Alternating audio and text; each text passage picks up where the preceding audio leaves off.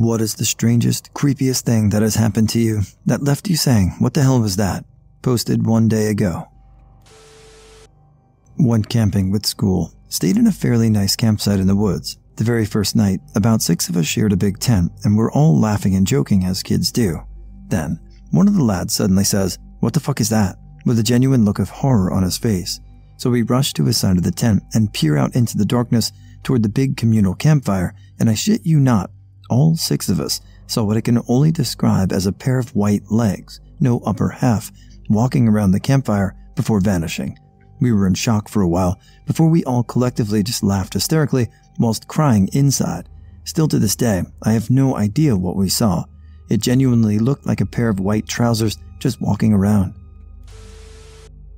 I had surgery recently. I remember having a dream while under anesthesia where I was lucid and knew that my dream body was not real and that my real body was on an operating table. In the dream, I was back in my apartment and my cat kept trying to jump up on me and I kept thinking, no, you can't jump up on me because I'm actually on a table and you'll mess up the surgery.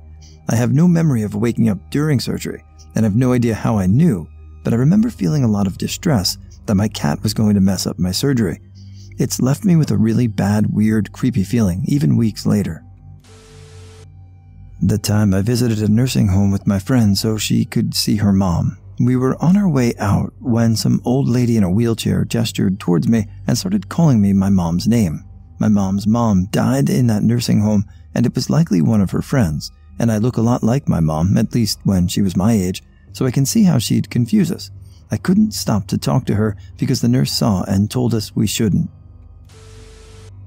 At the time, I never really thought much of it because of my age. When I was around 8 to 9 years old, we used to live in a semi detached house where the stairs were by the left side of the house and the neighbor's home was to the right, important for later. Another important fact that an old guy used to live there and unfortunately passed away. I made friends with the neighbor's kids because we realized we went to the same school. One day, I was walking up the stairs whilst knocking my knuckles against the wall playfully like any child would. I heard something knock back and at the time I was young, so I assumed it was the neighbor's kid knocking from the other side. I knocked again and heard the wall knock back. It wasn't until I recalled the memory and floor plan that the neighbor's house wasn't aligned with the stairs. The other side of the wall I knocked on was plain land. I tend to suffer from bad dreams, and occasionally a lucid one. I always sleep with the door open, so a bit of moonlight comes in, just enough to see a silhouette. One day, I'm in between being awake and being asleep and there's a black silhouette of a person standing in the door opening. I start screaming like crazy, and at the same time, this person starts screaming too and runs towards me in the dark and sits on top of me. I scream even louder, almost to the brink of crying out of panic. This continues for a good few seconds until I recognize the voice. Calm down, it's me.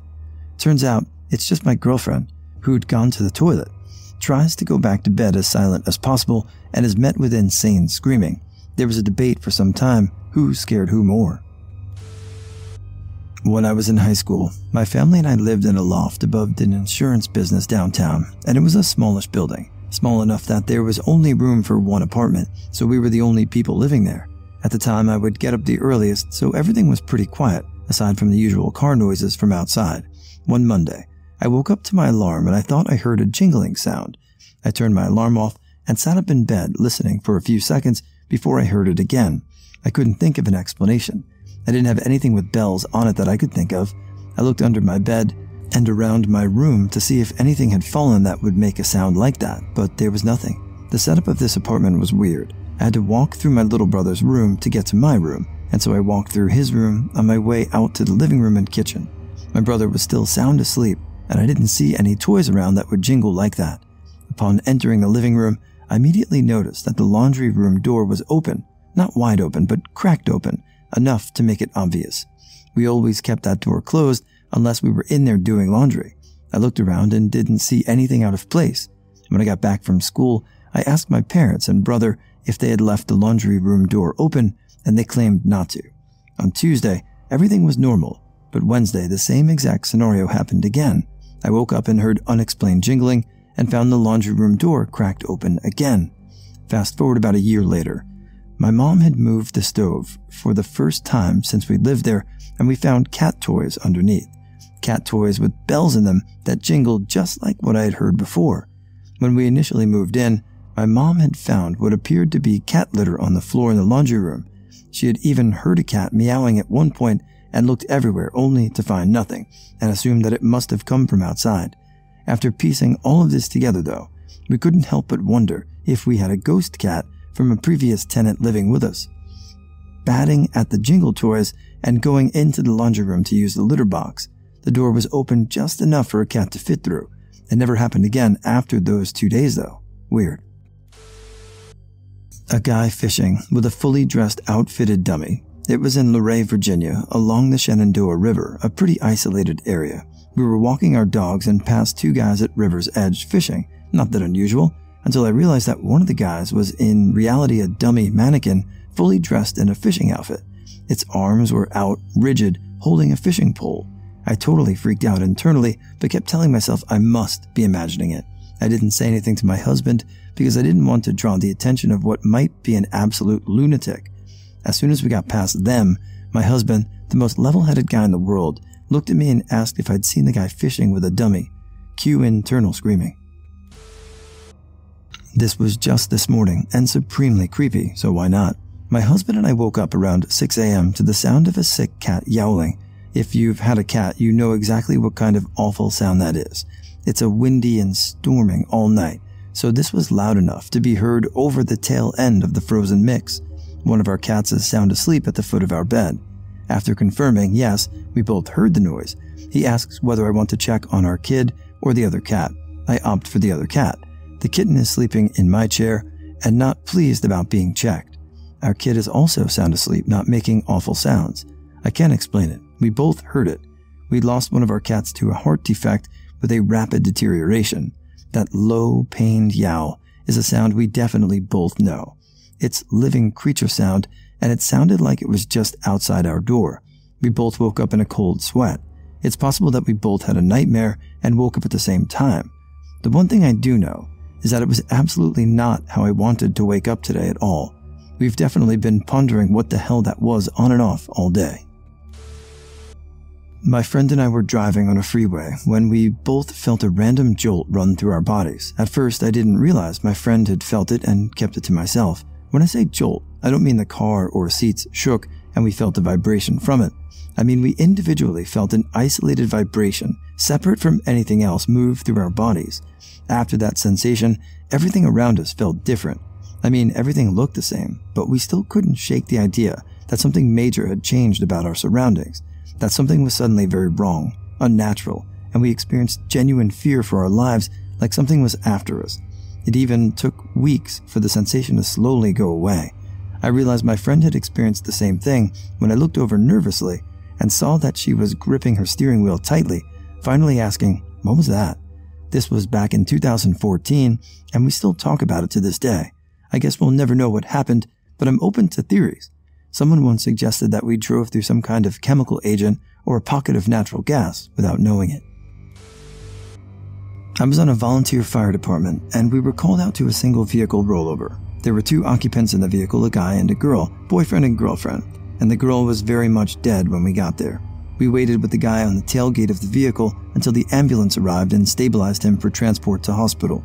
While we were waiting, he explained that they were sitting side by side, cuddling as they drove, and sharing Mike and Ike's between each other's lips while kissing. The next day, the fire department had a debriefing meeting to check in on one another after such a stressful event. This one guy starts explaining a recurring dream he had, where the girl who died in the crash was trying to get his attention to explain what had happened how they had a candy between their lips kissing.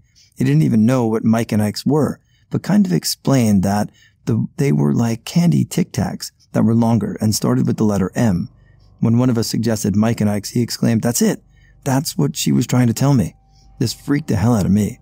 The guy was on tragic duty for this call and was easily more than 500 yards from the scene of the accident. There were only three firefighters at the actual scene, I being one of them, because the accident was late in the evening, we didn't debrief immediately after because everyone needed their sleep.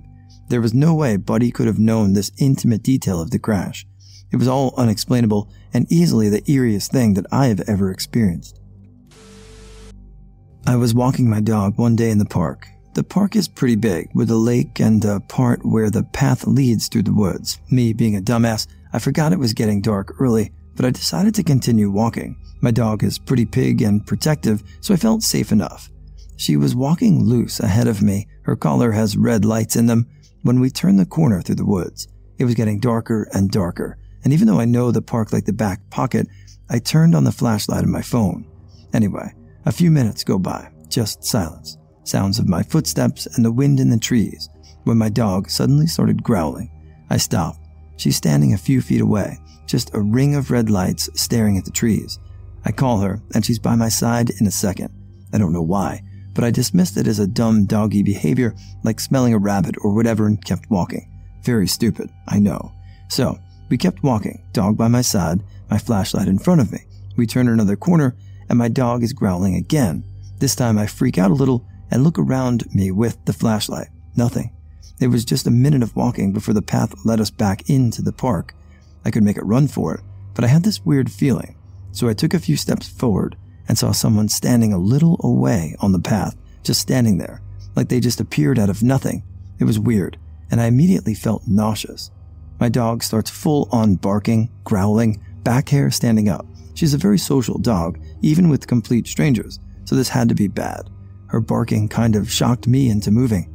The moment I grabbed her to turn around to make a run for it, the figure stepped forward. I never ran so hard. I ran all the way back to the little bridge that connected the neighborhood to the park. My dog was still with me, thank God. The moment I got home, I called the local police and asked them to check it out. They didn't take it that seriously because nothing bad happened, but they sent a car over. They found nobody, of course. I slept badly that night, and it took me a while to walk there again, even in daylight. I took a nap in the evening, and when I woke up, I felt the urge to look at my hand. I did so and was absolutely panicking. It looked like some glitched video game item that wasn't rendered properly and is now a pixely, unfinished neon mess. I just froze and couldn't even scream before I blacked out. Woke up and everything was fine. I wasn't on meds, sleep deprived, or had a sleep paralysis since I could move. I have no idea what the heck happened and can't find an explanation for what happened.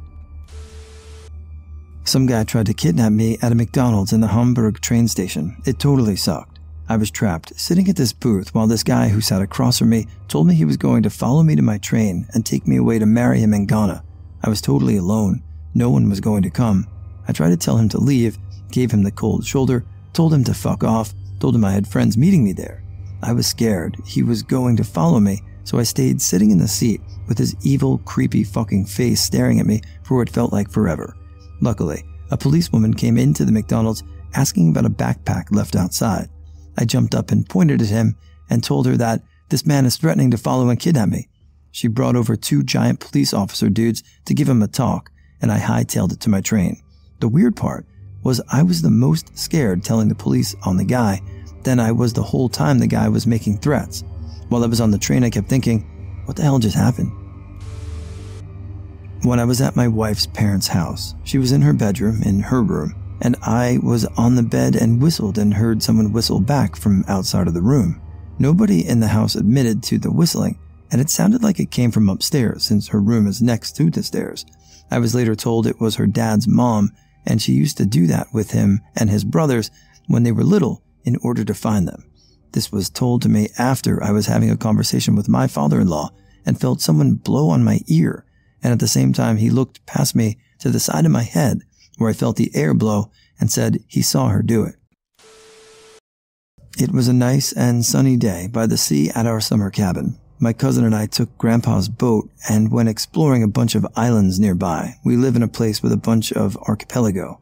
After a while, we get to this island a little further out. We cruise along the shoreline when we notice a small opening, just big enough for our boat to fit through.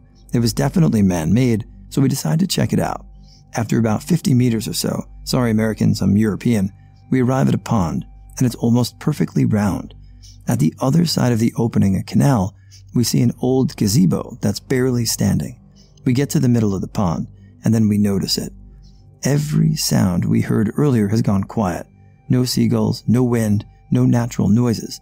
The only thing we can hear is the sound of us rowing. I can only describe the lack of sound as thick silence. It was weird. Of course, the sun vanishes behind some clouds, and suddenly the pond seems extremely dark, although it was very shallow. We were trying to joke about ghosts coming to get us, but both of us were clearly nervous. Out of nowhere, a plank in the gazebo falls from the roof and lands with a loud bang on the floor. We nearly jumped out of our skins. We both decide it is time to go, turn the boat around, and I start rowing. We were almost at the opening again when we hear what sounded like groaning and thumping coming from the gazebo. Keep in mind, I was facing the gazebo while rowing.